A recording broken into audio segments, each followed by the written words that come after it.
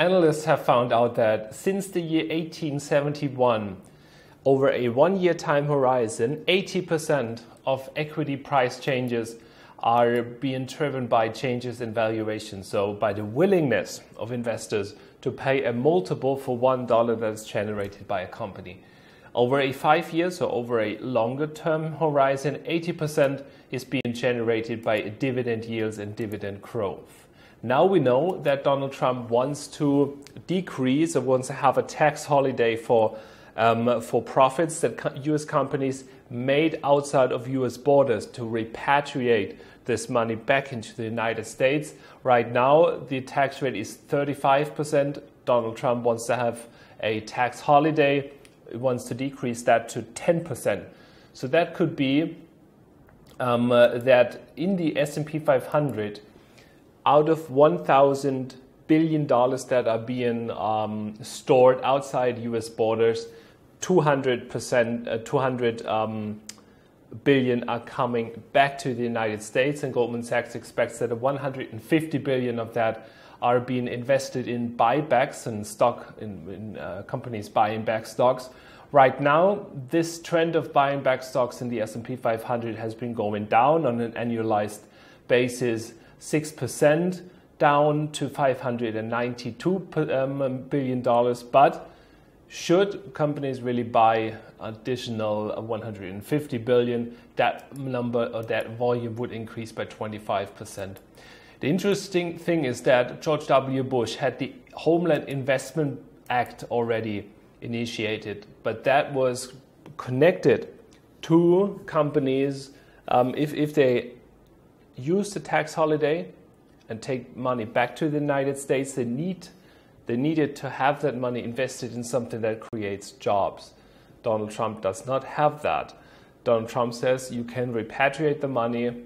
What you do with it is your um, obligation or is, is your, uh, you must have the idea of what to do.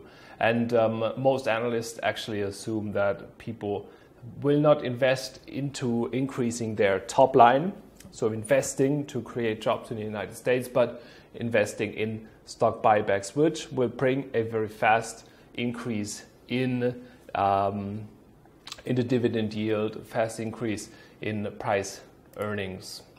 And price earnings in the S&P 500 are right now at 131.95 with a price earnings ratio of 17.4. So that might be a supportive factor if that tax um, holiday is really going to be coming. We've got really some high valuations in some sectors. If you look at um, the energy policy changes that the Trump uh, government wants to initiate, um, it wants to deregulate, less environmental protection, and um, the price earnings forward, price earnings for the expectations or based on expectations in the energy sector in the United States is 31.5. So really a high valuation and as we all know, the S&P 500 rally has really gone fat. 2,000 billion US dollars have been added in market capitalization since the election of Bad Trump. So that is something that might bring us a correction further down the road. We now got a divergence, which is really interesting. We got the uh, European equity markets, which are in a uh, very clearly in a correction and we've got Wall Street, which is mm, which has tried to go into the same correct corrective mode, but with the deregulation of uh, the Dodd Frank Act, the rolling back of deregulation of regulation of U.S. banks, it has jumped and is not in any correction. The DAX right now is 11,575 euro dollar at 106.66. So that is a trend to watch should the euro dollar break out, it has formed an inverted head and shoulders pattern that might be interesting to see.